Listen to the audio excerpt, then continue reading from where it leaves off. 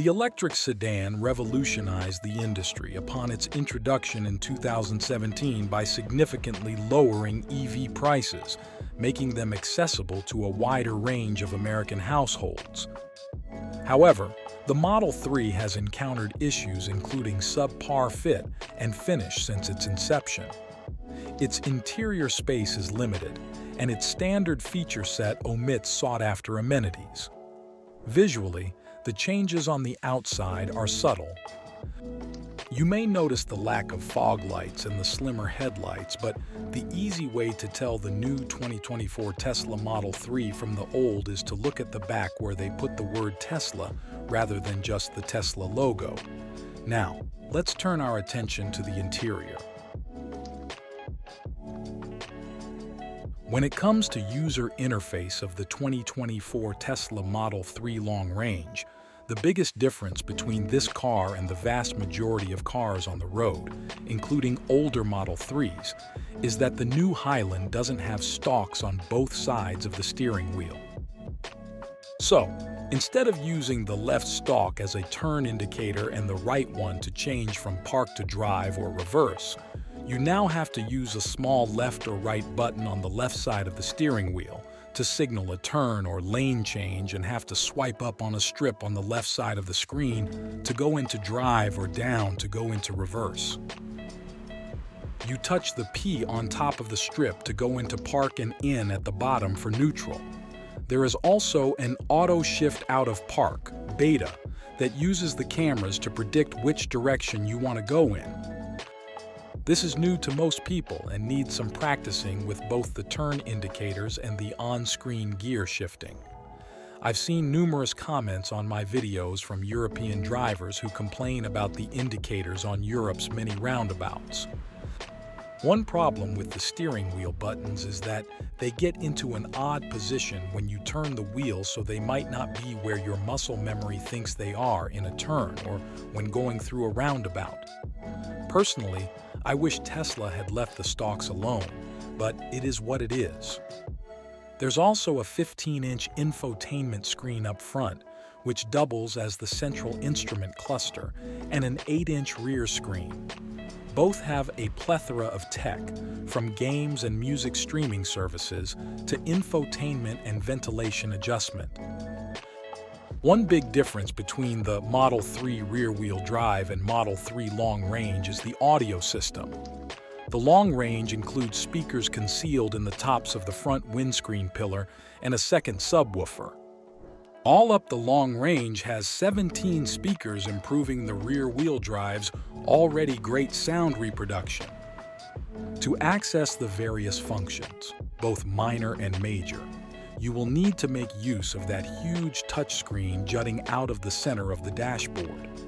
It all looks very futuristic, but having to delve through menus to access everything from the music volume to seat heating and even steering wheel adjustments can initially be a bit frustrating.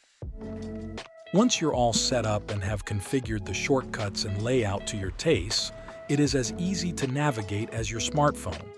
The screen is very responsive, has bright and clear graphics, and the SAT navigation uses Google Maps, which is about as user-friendly as it gets. Tesla doesn't offer Apple CarPlay or Android Auto, but you may not actually miss it.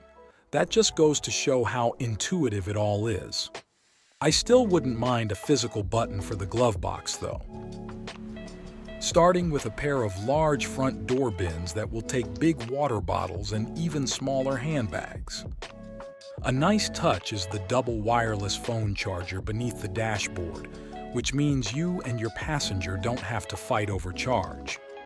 The central cubby incorporates a tray with two USB-C ports, and you get another covered storage compartment as well as two cup holders.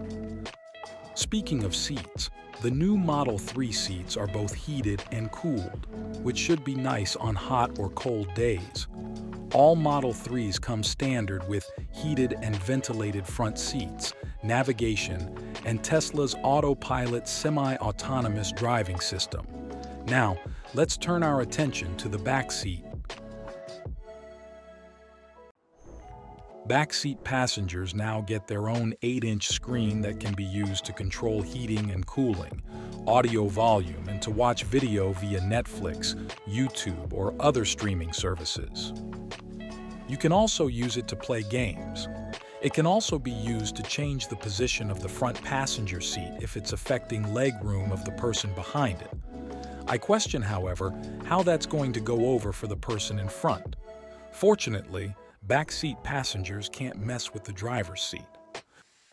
As an entertainment device, the screen is a bit small and it's positioned so low that it might cause some neck strain to watch for an extended period. I suspect that some backseat passengers will opt for a tablet rather than bothering with the built-in screen. This is a refresh, not an entirely new design, but it takes what's good about the Model 3 and makes it better while fixing things that always bothered most people, including bumps and road noise.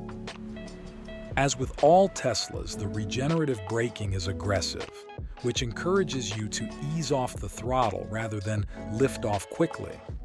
Or you can use the cruise control, which is now activated via buttons on the steering wheel.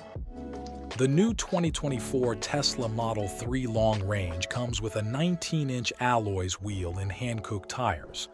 It's a decent combo that still delivers on the vastly improved ride quality of the updated Model 3. Sophisticated frequency selective dampers that adjust their response depending on the size and speed of the bump do a great job of dealing with bumps. Some people wanted the long range because they sometimes get range anxiety on road trips. Even though the standard range's EPA estimated 272 miles would have been more than adequate in the vast majority of cases, because of Tesla's extensive supercharging network. The long range has an EPA estimated 341 mile range, but just as with EPA gasoline cars, your mileage will vary. Hardly anyone gets the full EPA-rated range on Teslas.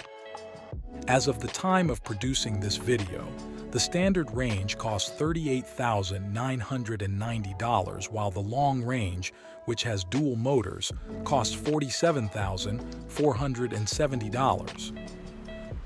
The 0 to 60 acceleration on the long range is rated at 4.2 seconds compared to 5.8 seconds, but in most on-road situations, it's crazy to accelerate at that speed. Both are rated for a top speed of 125 miles per hour, which is less than the 140 miles per hour of the 2023, but that doesn't even come close to mattering much.